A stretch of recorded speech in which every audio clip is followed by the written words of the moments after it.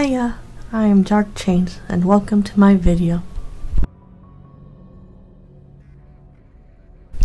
We continue our journey through Mass Effect. I will explore space avoiding the main story for a little bit.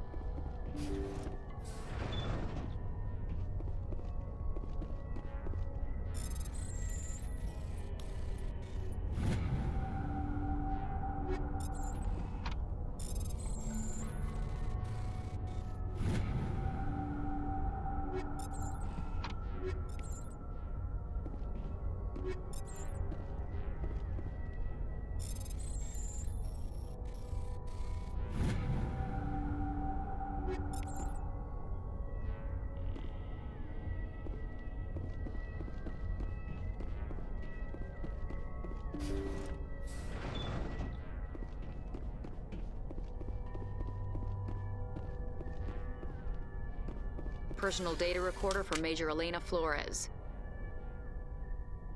Play the first entry. Sigma 23 is almost fully operational. The barracks and storage lockers are complete, and we've begun stocking the munitions. It's highly unlikely the Alliance will patrol in the nebula. I expect our only risk will be from pirates, and who'll believe them? Looks like we'll have space for two reinforced platoons of Cerberus commandos. Cerberus.